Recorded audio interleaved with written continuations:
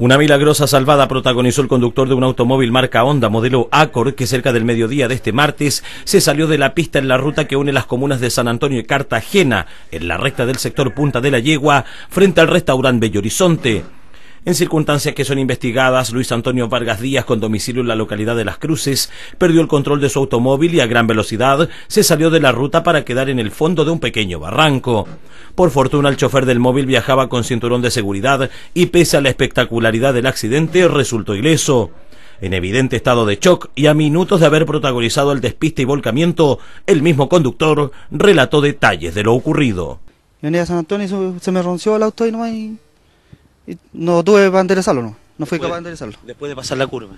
Sí, después de pasar la curva. Pero gracias a Dios que no pasó nada malo. No me pasó nada a mí, no hice daño tampoco a nada. Así que estuvo bueno, gracias a Dios. Le agradezco a Dios. Patrullas de carabineros de San Antonio y Cartagena llegaron al lugar de los hechos para coordinar la emergencia y antes de una hora el vehículo fue retirado con la ayuda de una grúa.